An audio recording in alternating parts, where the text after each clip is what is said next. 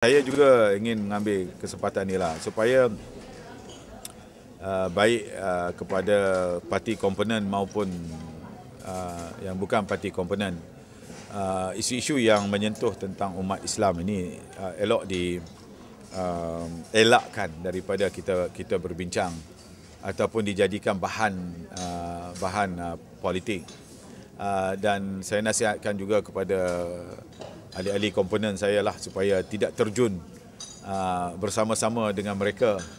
Kenapa kita perlu buang masa kita?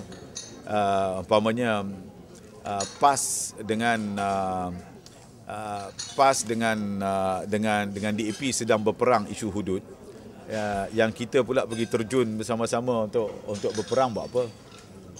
Ya?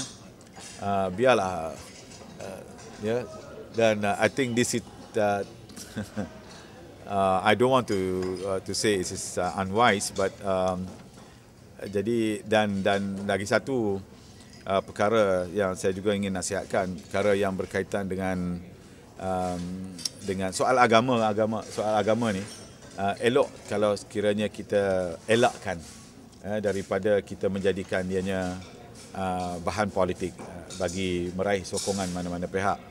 Um, kerana dia tidak akan memberi kesan. Mungkin kita berhasrat untuk mendapat sokongan dari satu pihak tetapi uh, kita akan kehilangan sokongan dari pihak yang lain pula.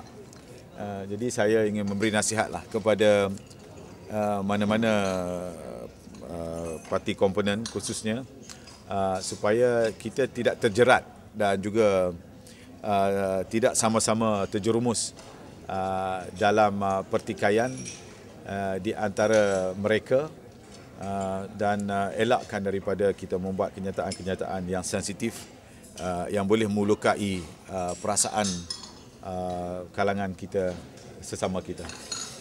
Ya. Um, dan um, dan soal uh, saya ingin tegaskan bahawa soal agama uh, tidak boleh dikompromikan ya. Uh, saya perlu bertegas soal itu. Uh, dan begitu juga uh, kita perlu menghormati agama-agama lain. Ya. Bila saya kata sebutkan dalam soal agama tidak boleh dikompromikan, ini termasuk juga dalam soal menghormati agama-agama lain. You cannot simply ridicule other religion. Jangan sama sekali mencerca ya menghina agama-agama lain. Ya.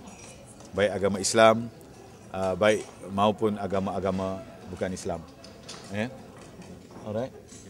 I have to make it very clear. My advice to all the leaders, uh, the component leaders. Tu mas faham lah.